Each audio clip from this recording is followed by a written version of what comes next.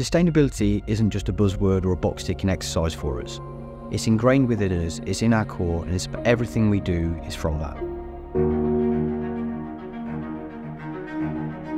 At Michael Smith Switchgear, we manufacture, install, and maintain low voltage switchgear and control gear cubicles around the whole of the UK.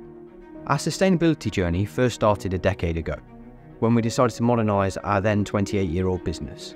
And over the course of 10 years, we've changed all of our processes and procedures around this. At first, we installed LED lighting throughout the factories and we installed 284 solar panels onto the roof, generating 102 kilowatts of electricity for us.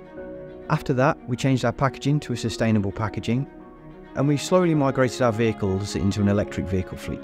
But by far our biggest change and our biggest impact was we completed a research and development project which saw us reduce our copper consumption in every switchboard that we manufacture by over 20%. In 2022, we became a carbon neutral business and reached our goal of that. We offset 137 tonnes of CO2 emissions over the course of our previous year of operations. Schneider Electric recognised our commitment and awarded us the Global Sustainability Impact Award winner for 2022. Sustainability impact doesn't have to be one large project. Small incremental changes along the way can make a big difference. And yes, we know they take investment, we know we've been there, but we've also witnessed the change and the impact that that can have, and they're very much worth it.